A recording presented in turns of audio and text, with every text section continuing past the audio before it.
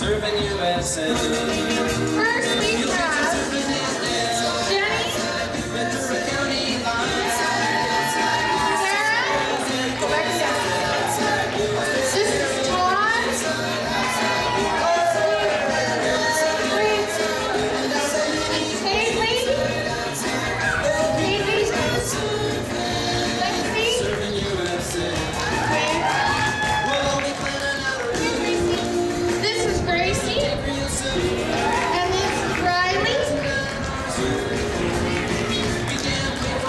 This is Kristen.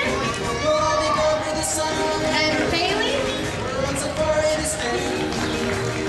And we got Tristan.